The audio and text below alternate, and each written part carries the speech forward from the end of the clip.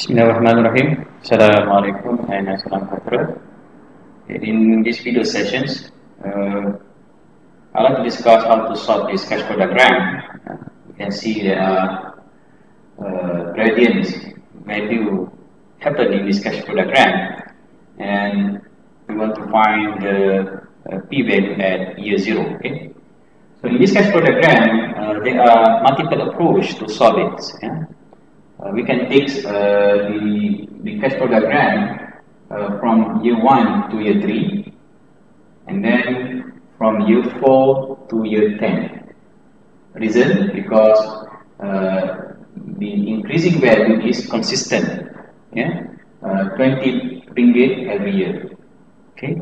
Or we can take uh, from year 1 to year 2 and then from year 3 to year 10 okay.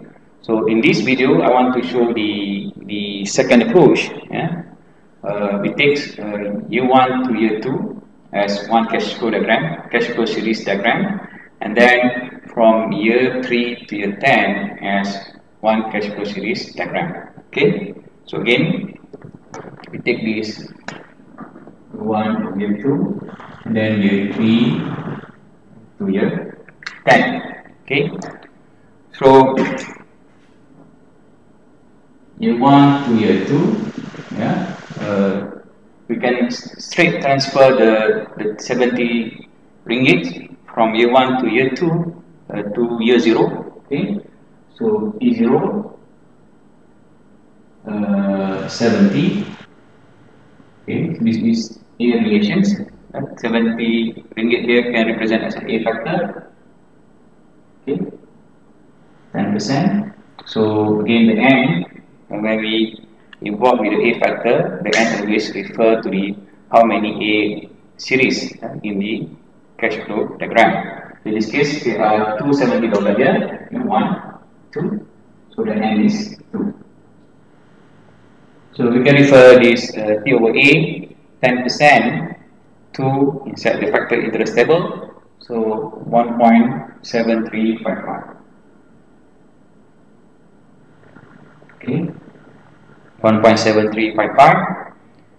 So it is 1 to 1.5. So settle uh, from year 1 to year, year 2.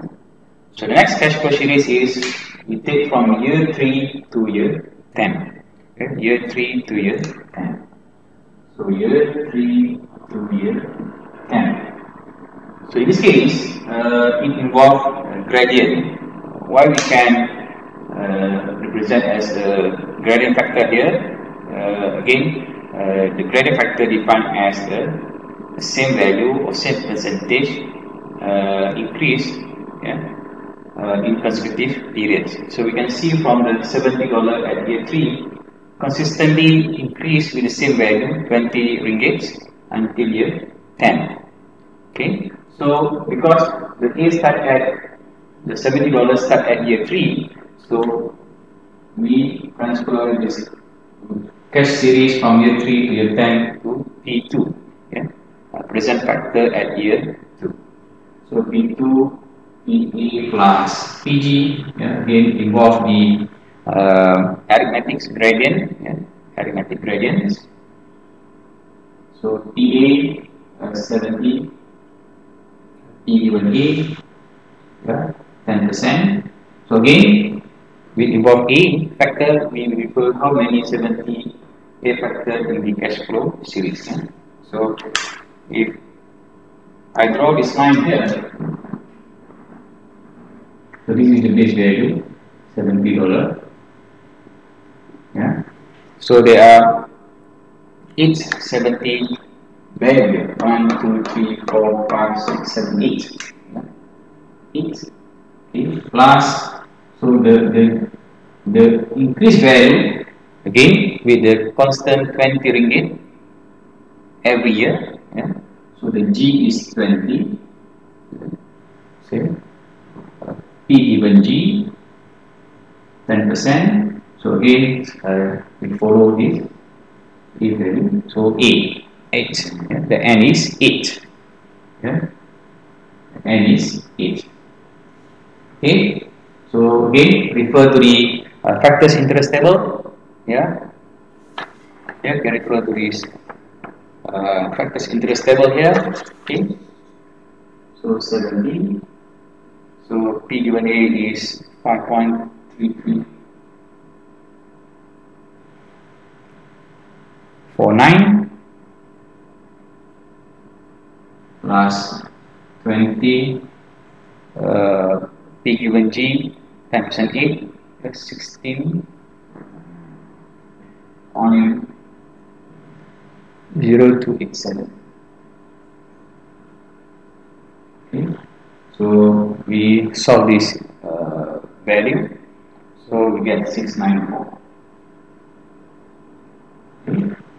But this 694 is located at uh, year 2 okay? Because from year 3 to year 10 yeah we transfer to P2 first. Again because why? P must always one period ahead from first A.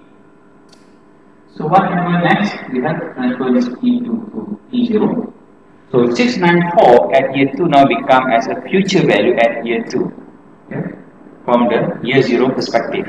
The reason if 694 become F at year 2 the future value at year 2 so E given F 10% and this is single payment factor. So the N is 2 again why? Okay. Uh, for single payment factor the N always refer to the period of F and the period of P.